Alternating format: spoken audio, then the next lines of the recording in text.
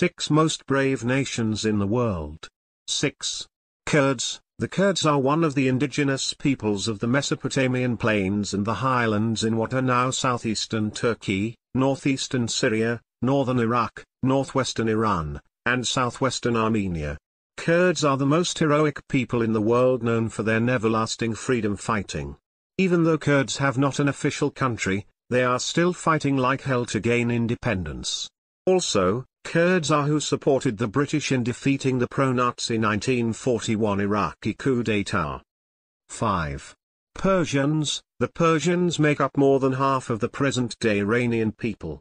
Persians are the bravest people in history.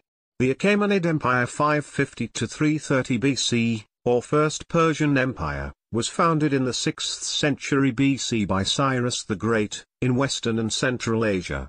Since the Persian Empire, Persians fought with many empires including the Romans and Greeks with great courage. Persians were known for their military science and brave soldiers. Iran in the present day is also home to the brave people who fight courageously. 4. Romans, these people are the bravest people who fought hundreds of wars with great tactics and bravery. Romans ruled Europe, the Middle East, and Northern Africa for a long time than any empire ruled in history. The Roman Empire was founded when Augustus Caesar proclaimed himself the first emperor of Rome in 31 BC and came to an end with the fall of Constantinople in 1453 CE. Over 140 Roman emperors led this expansion, larger-than-life characters whose bloody battles and gruesome tales have now become things of legends. The land of gladiators and gladiatrix won many more battles than any empire in history. 3. Mongolians Mongolians are the people who live in Asia. These people are known for their heroic characteristics and amazing history of conquering the largest empire in the world, the Mongol Empire.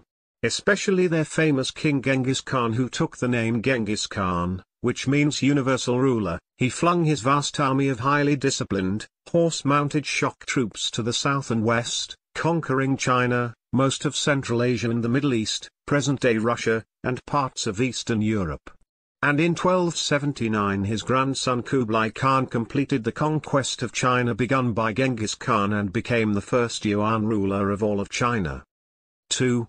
Tigrians, you might be surprised to find these incredible people on this list of heroes.